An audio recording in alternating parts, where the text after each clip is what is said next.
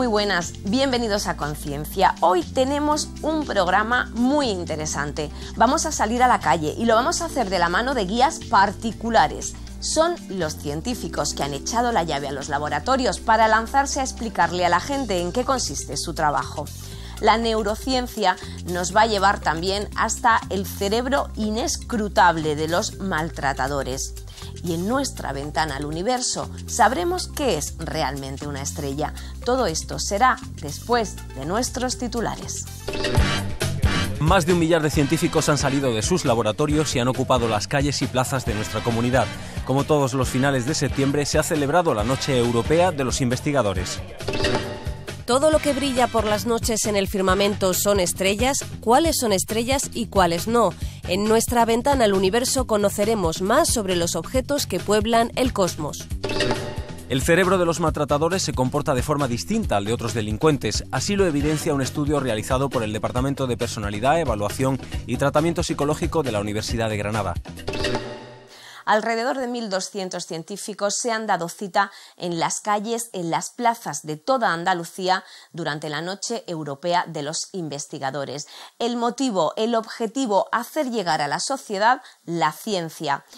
Este encuentro lo organizan las universidades, el CSIC, la Fundación Descubre y la Consejería de Salud. Un equipo de conciencia salió esa noche a las plazas de Granada para ver cómo se desarrollaba la Noche Europea de los Investigadores.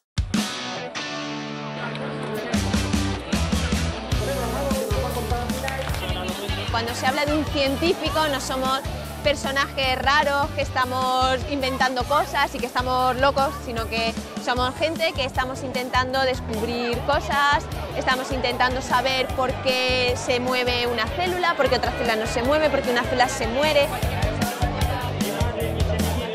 Eh, es una gran oportunidad para los científicos, porque los científicos podemos eh, sacar al exterior eh, la investigación que hacemos y es una gran oportunidad para la gente, para la ciudadanía. La divulgación es el mejor lobby, la mejor forma, primero, de rendir cuenta a la sociedad y de segundo, de hacer presión para que se vea que la ciencia es importante y que hay que financiarla.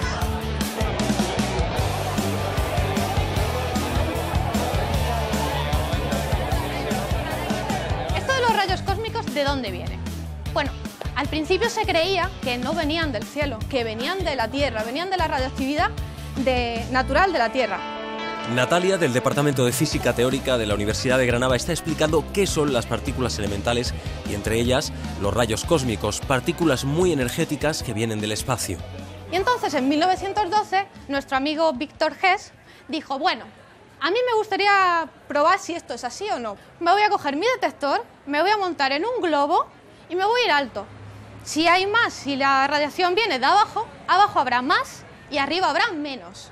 Pero eso no pasó así. El objetivo de nuestra actividad eh, es que la gente pues, sepa qué tipo de trabajo hacen los físicos de partículas, tanto los teóricos como los experimentales. Eh, qué instrumentos utilizamos para explorar el interior de la materia. Gracias a los rayos cósmicos podemos tener grandes descubrimientos como por ejemplo que en el centro de cada galaxia existe un agujero negro supermasivo. Hay animales que ven un poquito del ultravioleta y hay otros animales que ven un poquito del infrarrojo, pero fundamentalmente todos los animales que hay sobre el planeta son sensibles precisamente a la zona donde más luz emite el Sol. Qué curioso, ¿no? El equipo de Javier, del Departamento de Óptica, trabaja con imágenes en distintos canales del espectro, luz que se ve y luz que no se ve aunque nosotros no seamos sensibles al infrarrojo, vamos a hacer un experimento. Quiero que pongáis vuestros móviles o vuestras cámaras en modo cámara y que apuntéis a estos mandos a distancia. ¿Notáis un, un destello chiquitito? La mayoría de los móviles lo perciben. ¿Por qué? Porque son sensibles a una pequeña porción del infrarrojo. Nos dedicamos sobre todo a imágenes multiespectrales que suena un poco así raro, tipo Iker Jiménez, pero que es algo bastante moderno en la ciencia. Y para que la gente de la calle entienda a qué nos dedicamos, primero hay que introducirle cómo vemos nosotros, cómo es nuestra visión humana, para poco a poco explicarles que los límites de la visión humana se pueden superar. ¿Por qué vemos los colores? Pues porque en nuestras retinas, en la parte trasera de nuestro ojo, tenemos una célula fotosensible. Mandan una señal eléctrica al cerebro y a través de esa señal eléctrica al cerebro nosotros percibimos el color.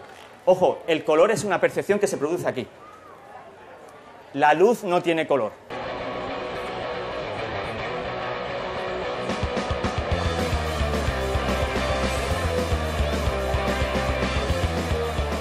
En esta simulación que vamos a hacer ahora mismo, vamos a hablar de, unas características que podemos medir eh, directamente, como por ejemplo el tamaño, la masa y la energía en relación de un meteorito. ¿Y alguien me echa una mano? Necesito dos voluntarios. Sara Cazzoli investiga en el Instituto de Astrofísica del CSIC. Con los meteoritos pudieron llegar a la Tierra compuestos necesarios para la vida, aunque también son culpables de grandes extinciones, como la de los dinosaurios. 3, 2, 1. Vale. Como sacamos los meteoritos y como podéis ver, vosotros primero, que soy, lo habéis hecho, los, eh, los diferentes meteoritos dejan una diferente, un diferente cráteres. La masa es un, eh, un parámetro físico del meteorito que estudiando el cráteres podemos medir. A ver, ¿quién de vosotros sabe lo que es la dafología? Nadie, ¿verdad? ¿Eh? Bueno, la pista la tenéis clara, ¿no? Nosotros lo que estudiamos es el suelo. Manuel Sierra está explicando a los más jóvenes la importancia del suelo, el principal sustento de nuestra vida. El suelo es la capa de la superficie de la tierra que es fértil.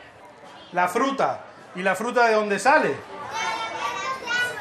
De las plantas que crecen otra vez nuevamente en el suelo. Y el bocadillo de la merienda, ese pan de dónde sale? Del trigo que se hace la harina y de la harina se hace el pan. Y el trigo crece nuevamente en el suelo. La importancia que tiene el suelo, que desde el punto de vista del ecosistema a veces ha sido el gran olvidado y es fundamental pues todas las funciones que desempeña en, el ecosistema y es una parte esencial para la vida en el planeta.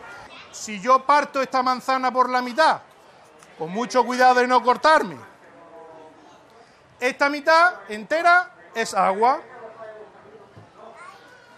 Y si corto esta mitad otra vez por la mitad, esta mitad sigue siendo agua. De manera que solamente esto es tierra. Astronomía, biología molecular, matemáticas, geología, arqueología, todas las ramas de la ciencia tienen cabida en esta Noche Europea de los Investigadores con más de 400 actividades que se celebra este año bajo el lema Mujeres y hombres que hacen ciencia para ti. Siete capitales andaluzas más Jerez se suman a otras 250 ciudades europeas en este foro en el que se rompe la barrera entre la ciudadanía y los científicos. Hemos estado haciéndonos el ADN ahí, que es la primera vez que me lo he hecho. Y eh, yo mismo lo he puesto en el potecito este pequeño que nos dan para tener eh, el este, pero bien, muy bien. Me ha llamado mucho la atención que hay una, una caseta que es de cirugía y hemos estado viendo cómo hacen los cirujanos la- en los cortes y tal. Impresión en tres dimensiones directamente con una especie de plástico que utilizan. Imprime pues desde juguetes hasta órganos artificiales. y hemos aprendido muchas cosas variadas pues de los rayos y de la electricidad. Por ejemplo, cómo se forman los rayos en el espacio, las cargas positivas y negativas, cómo chocan y cómo se forman. He visto que hay mucha, mucha gente investigando en Granada más de la que yo creía.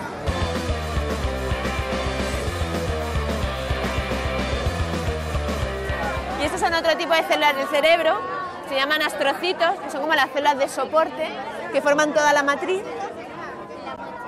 y que tienen muchas funciones también. Son bastante más grandes, son las células sobre las que se ponen las neuronas. En la carpa del Instituto López Neira del CSIC, la investigadora Elena González Rey abre la puerta al microuniverso que se escapa a nuestra vista. ¿Qué tamaño tiene en real? Pues ahora varias micras. O sea, no son, para que estén son varias micras, ¿vale? Pero, por ejemplo, esto eh, son mucho más pequeños. O sea, en cada una de esas células cabrían hasta 500 parásitos. Bueno, pues las actividades que nosotros hemos traído es un poco para los niños, para que aprendan a realmente a ver el mundo desde otro punto de vista. Y lo que estamos enseñándoles son cómo se ven células a través de un microscopio, que es una célula Yo, por ejemplo, he traído aquí una serie de, de objetos. Uno de los más llamativos quizás sea la, la arena mágica, que como podéis ver es una, es una arena que en, en contacto con el, con, el, con el líquido se, queda envuelta por una burbuja de aire y no moja, de tal manera que si yo la saco, la arena aparece totalmente seca. Javier Montes, del Departamento de Física Aplicada, estudia materiales hidrófobos, aquellos que repelen el agua, con aplicaciones insólitas. Y podemos ver cómo el, contacto con ese recubrimiento superhidrófobo, pues el papel permanece completamente seco. En un folio en blanco, al que hemos puesto pues, las, las siglas de la Universidad de Granada, vemos cómo podemos si cubrimos parte del objeto, antigrafiti, se le puede poner a determinado monumento un recubrimiento de este tipo, de tal manera que si alguien intenta pintar, pues evitamos que pueda adherirse cualquier tipo de, pintura o de, colorante. La tarde se convierte en noche y a cada respuesta siguen nuevas preguntas. Más de 60.000 personas en toda Andalucía han salido al encuentro de la ciencia y los científicos, mujeres y hombres que hacen ciencia para ti.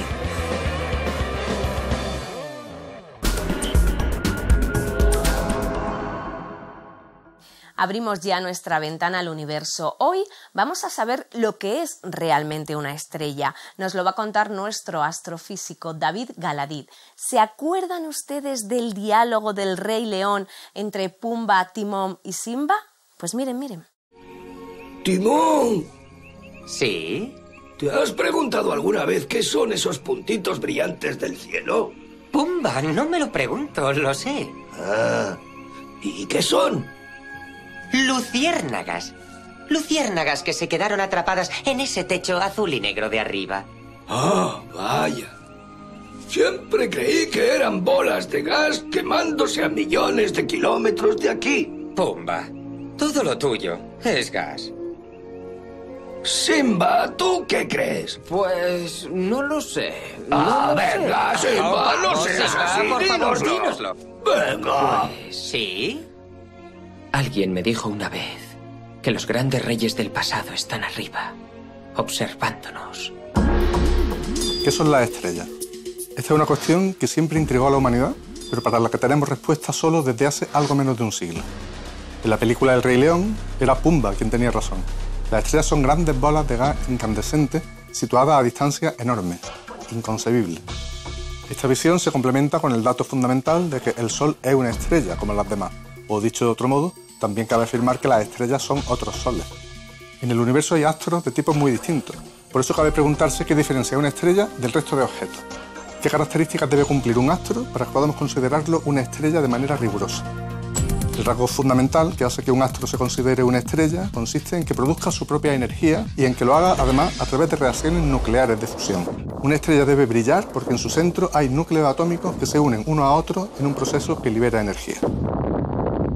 Las reacciones de fusión nuclear en los interiores estelares pueden ser de muchos tipos, aunque las más normales, y las que de hecho se producen en el centro del Sol actualmente, consisten en la unión de núcleos de hidrógeno para producir núcleos de helio y a su vez también energía.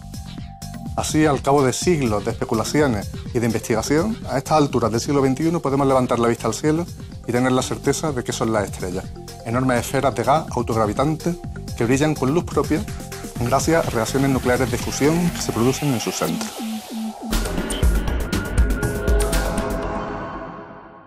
La ciencia no es ajena al problema de la violencia de género. Solo en 2015 murieron 60 personas y hubo casi 130.000 denuncias por agresión.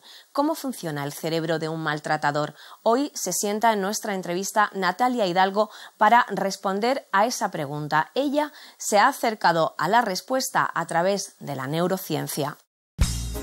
La doctora en psicología Natalia Hidalgo conoce bien la violencia machista. Ha intervenido como psicóloga con las víctimas antes de trabajar con los agresores desde un enfoque científico, usando técnicas de resonancia magnética funcional para confrontar en un mismo experimento las reacciones de 21 hombres condenados por maltrato frente a las de 20 individuos sentenciados por otro tipo de crímenes.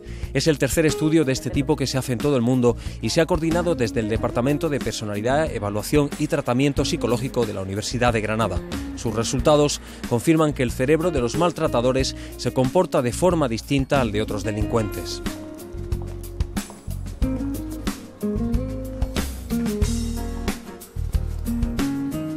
Natalia Hidalgo, es un placer tenerte con nosotros aquí en Conciencia. Cuéntanos en qué consistió el experimento. Bueno, el experimento consiste en evaluar a maltratadores a partir de resonancia magnética. Hemos tenido un grupo de maltratadores y hemos comparado qué es lo que pasaba en el cerebro de los maltratadores en comparación con otros convictos, otros, eh, otros hombres que tienen medida judicial por delitos eh, que no están relacionados con la violencia de género. Y lo que hicimos es que mientras que se registraban las imágenes con la resonancia magnética, pues eh, fuimos em, pasándole una serie de imágenes con distinto contenido. Algunas imágenes tenían contenido de violencia en general, otras imágenes eran contenido concreto de violencia de género y otras imágenes neutras como para, para ver su reacción también. Además les preguntamos, pues bueno, cuánto de impactados estaban con esas imágenes, cuánto de ansiosos eh, podían estar ante ellas y qué control sentían, qué sensación de control tenían ante, ante la visualización de las mismas. Según vuestros resultados, entonces, ¿son los maltratadores distintos a otros criminales? Pues sí, realmente los resultados indican que el cerebro de los maltratadores funciona de un modo diferente. Eh, se activan y desactivan eh, zonas cerebrales distintas ante las mismas imágenes. Entonces, eh, eso indica que hay un funcionamiento distinto, un funcionamiento diferente. ¿Esa activación de determinadas zonas del cerebro os puede dar alguna pista? Que se traduzca luego en algún tipo de podáis inferir algún tipo de alteraciones emocionales, cognitivas, anímicas. Bueno, realmente en, el cerebro no, existe una especialización funcional tan directa como normalmente creímos, creemos. Esto quiere decir que la activación de una zona cerebral no quiere decir necesariamente una función implicada en todas las personas igual. Entonces, ante esa pregunta no puedo contestar directamente, pero sí se ha visto pues que eh, las zonas que se activan, desactivan, sí están vinculadas con, con el procesamiento emocional, están vinculadas pues con, con, la forma de vivir la ansiedad, de vivir el miedo, en fin, sí nos está dando información de que funcionamos diferente cada uno y en, el tema de, de, delincuentes es un tipo de violencia distinta, un tipo de, de, violento diferente a un violento general. Y ya eso es importante porque nos está haciendo separar dos... Eh, tipos de violencia y nos está haciendo separar delitos. Es entonces un paso, un paso previo para algo posterior que ampliará objetivos, me imagino, ¿no? este experimento. ¿no? Estamos viendo que los maltratadores son más inflexibles que otros, que otros tipos de delincuentes, más es, es algo que a priori no nosotros siempre nos preguntan, bueno, ¿cómo te imaginas un maltratador? Normalmente diríamos una persona pues, que tiene muy poquito autocontrol, por ejemplo, que no, toma buenas decisiones. Sin embargo, esas áreas pues, funcionalmente no, están eh, perjudicadas. Y lo que sí notamos una gran diferencia con respecto a otros grupos de, de, personas violentas es con inflexibilidad, con la flexibilidad cognitiva, son mucho más inflexibles. Entonces la investigación tiene que seguir por allí y bueno, y estamos eh, empezando otras, otras líneas de investigación como es trabajando la reincidencia de, los maltratadores. Entonces, con esta batería mucho más amplia, pues queremos ver qué es lo que los puede hacer diferente a los maltratadores que reinciden y a los que después de salir de prisión o, o de la medida alternativa no, no vuelven a cometer violencia hacia sus parejas.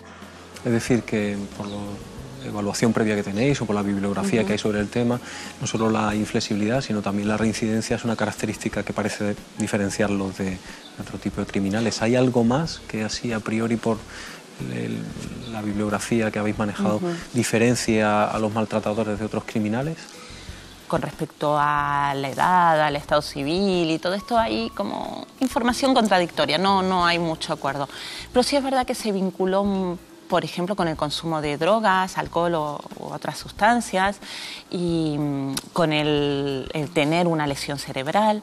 Por eso en este estudio que, nos trae hoy aquí, lo que hicimos es ser muy eh, cautos en ello. Entonces, nosotros no, eh, no aceptábamos para la investigación personas que habían cometido violencia contra sus mujeres, su mujer, pero tenían algún alguna lesión cerebral o habían consumido, tenían historia de consumo de drogas. Este tipo de, variables la hemos desechado porque son variables que en cualquier persona están vinculadas o pueden estar vinculadas con violencia. Imagino que es pronto todavía, pero en un futuro, si seguís trabajando en esta dirección, ¿puede tener alguna utilidad en el campo de la prevención lo que estáis haciendo? Esperemos que sí. Ahora mismo estamos en torno a un, depende de la investigación, pero entre un 15 y un 30% en España se está viendo de reincidencia, son porcentajes muy altos. Entonces, si podemos aportar alguna variable que, sea nueva y que, nos acerque al perfil de reincidentes, sería muy interesante. Pero además, a mí me, interesa especialmente irnos a, la infancia, ¿no? poder, poder organizar, pensar en programas preventivos desde los, preventivos desde los colegios se trabaja muy bien en los colegios, es decir, se trabaja en igualdad de género, de igualdad de oportunidades y eso es básico y eso no, no lo podemos olvidar porque eso es el, eje principal.